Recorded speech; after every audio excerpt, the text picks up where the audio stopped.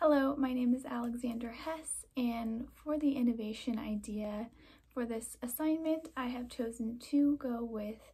cultural diversity and celebration of cultural diversity within the community.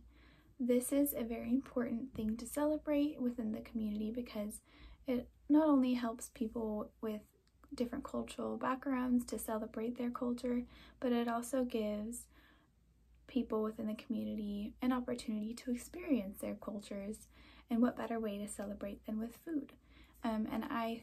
will be organizing this and hosting, um, possibly at the school, every month a cultural dinner where students can come together along with their families and other members of the community to